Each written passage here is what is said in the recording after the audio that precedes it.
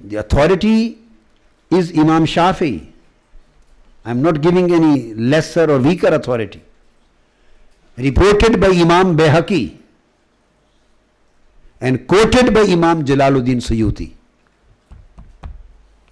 And he says, only bid'ah al bid'ah dalala is the bid'ah mimma yukhalif ma uhdisa mimma yukhalifu kitaban or sunnatan or asaran or ijma'an. Fahazihil bid'atu ad dalala. This is the translation. Only that bid'ah, innovation, which was created and adopted against Quran or against Sunnah or against practice of the companions or against consensus of Ummah, ijma.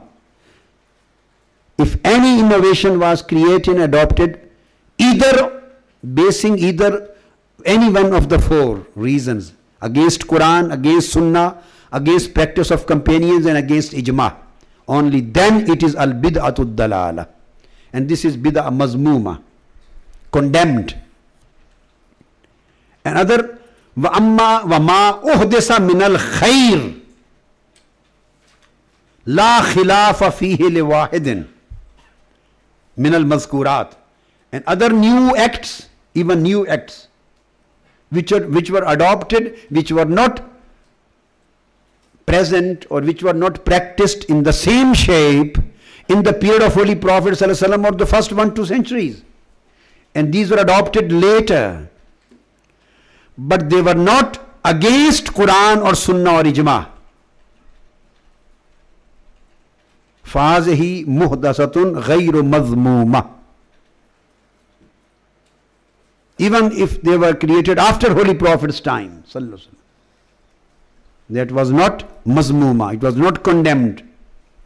And then Imam Jalaluddin Suyuti and Imam Bayhaqi, with reference of Imam Shafi'i, he quotes the hadith and statement of Sayyidina Umar radiallahu ta'ala anhu. So this is the division bid'ati hasana and bid'ati sayyah. The condemned innovation and non-condemned innovation. Prohibited innovation and permissible innovation. Forbidden innovation or permissible innovation. So this specific technical division was made by Imam Shafi. This is again not Indian manufactured thing. This is not Indian made thing. Imam Shafi and Imam Bayhaqi is quoting, and then he bases his view on the authority of Sayyidina Umar radiallahu ta'ala anhu. When you know Holy Prophet it is established, it is an established fact. He led the Taraweeh prayer only for three nights. He came out and prayed Salatul Taraweeh with companions only thrice just in the whole of his life, in the whole lifetime, only thrice. Then he never came out. Never came out. So then the people used to pray Salatul Taraweeh separately. Separately. Individually in their houses or in the mosque, wherever. Till the time of Sayyidina Umar. In the prophetic era, in the all period of Sayyidina Abu Bakr, there was no Jama'at. Lissalatul Taraweeh. There was no Jamaat prayer for Taraweeh. Till Sayyidina Umar radiallahu ta'ala his period. So he saw the people praying Salatul Taraweeh separately, individually. He thought it would be better if they should be combined collectively, they should pray it collectively in Jama'ah.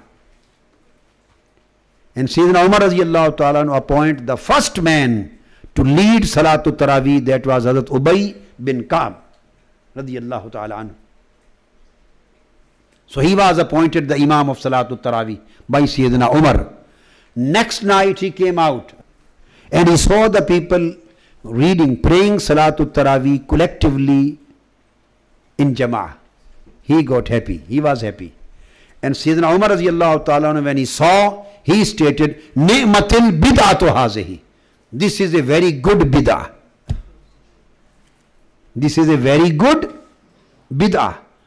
So in fact now the the founder of the concept is that every bid'ah is not bad.